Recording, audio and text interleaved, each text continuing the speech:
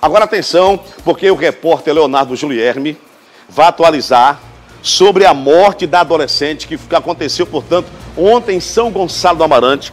17 anos a garota foi encontrada morta na casa do namorado. Atenção, porque o velório aconteceu hoje. Tem um depoimento importante, uma entrevista exclusiva do pai da adolescente daqui a pouco no programa Patrulha da Cidade. Mas agora eu vou conversar com o nosso repórter Leonardo Julierme, que tem informações é, sobre o caso, portanto, da adolescente que foi encontrada morta ontem na casa do namorado. Quais as informações atualizadas que você tem sobre a morte da adolescente? Boa tarde, Leonardo Julierme.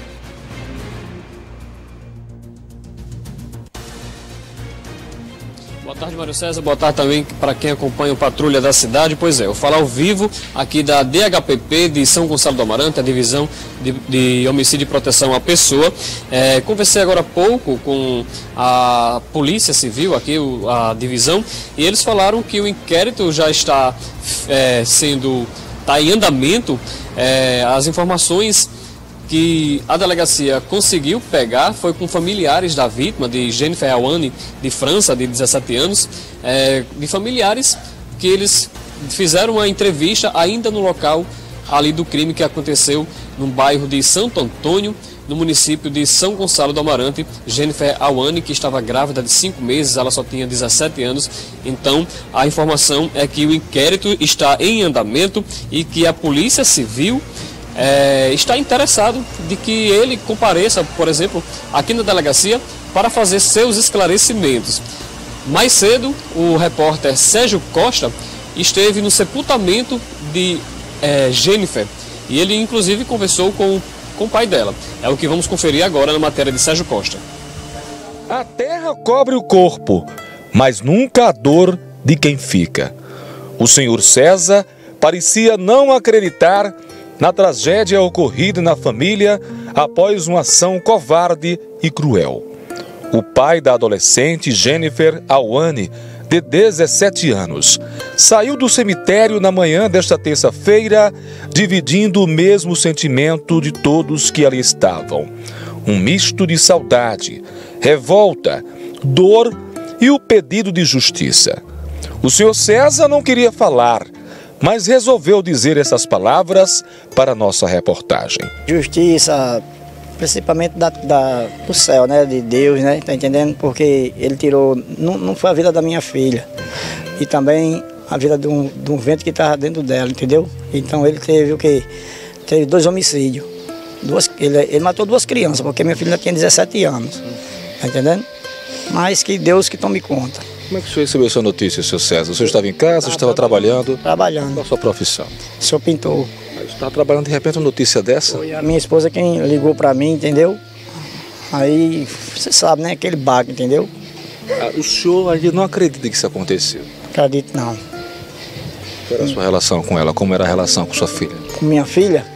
O senhor, o senhor nem imagina. Ela era tudo para mim na minha vida. Eu tenho um ela e tenho outro. Todas as dias, minhas duas filhas, todas as dias grávidas. Tá entendendo?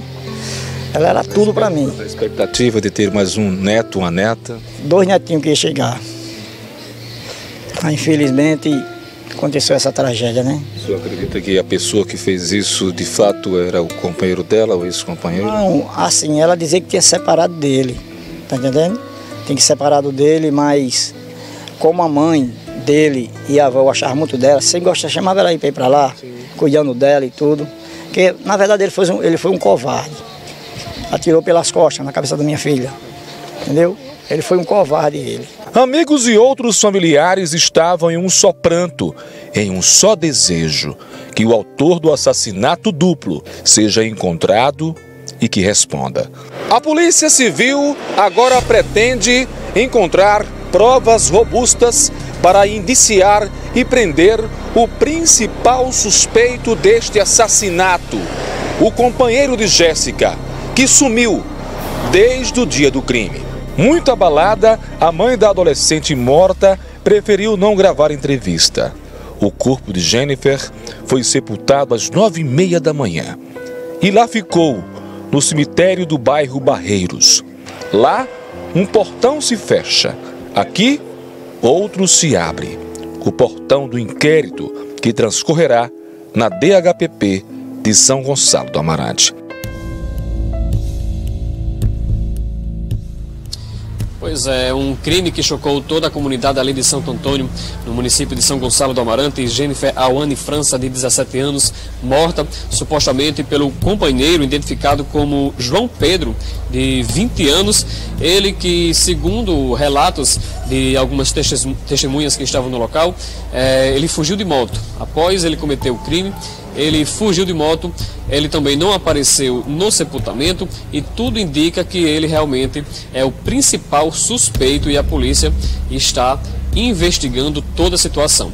Para o telespectador se situar do que aconteceu, um crime ontem, um, praticamente um duplo homicídio, já que ela estava grávida, esperando aí um bebê, ela que estava com cinco meses de gravidez. Eu vou chamar a matéria a, no qual eu estive ontem no local do crime. Eu vou chamar essa matéria para você entender, você telespectador entender a dinâmica desse, desse ocorrido.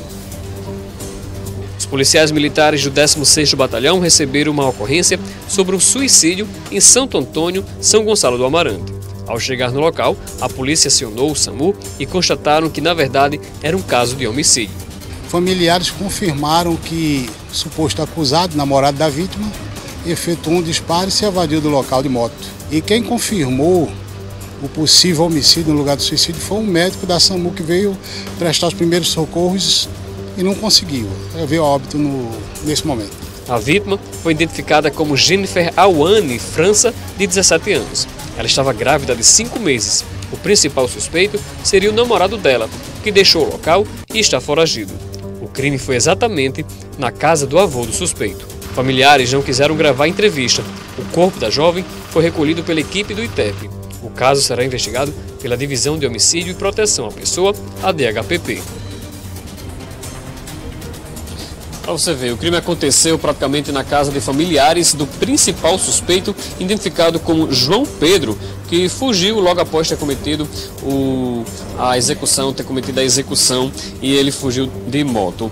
É, o que podemos dizer aqui diretamente da delegacia de, da Delegacia Civil de São Gonçalo, da DHPP de São Gonçalo, é que a polícia quer a presença dele para que ele possa dar os esclarecimentos sobre este acontecido. Mário César, são essas informações diretamente da DHPP de São Gonçalo do Amarante. Eu volto com você no estúdio.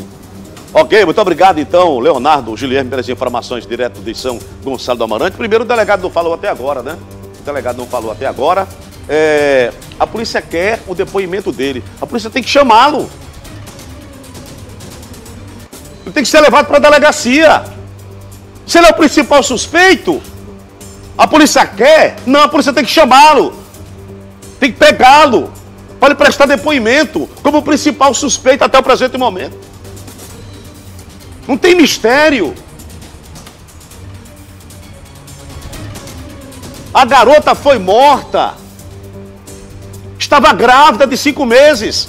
Como falou o pai dela, o pai desesperado aí, o pai com a dor incrível, grande, que é a dor da alma, entendeu? Ainda procurando saber se é verdade mesmo que a filha foi enterrada, porque é assim que fica o coração de mãe, o coração de pai numa hora como essa. E ele teve força para falar ainda com o nosso repórter Sérgio Costa. O que, que é isso, gente? Você quer ver o depoimento do pai? O pai tem certeza. O pai tem certeza de quem tirou a vida da filha, né? E do futuro neto ou neta, já que ela estava grávida. Atenção, minha produção. Coloca mais uma vez o depoimento do pai da vítima e que a polícia coloque esse cara para prestar depoimento.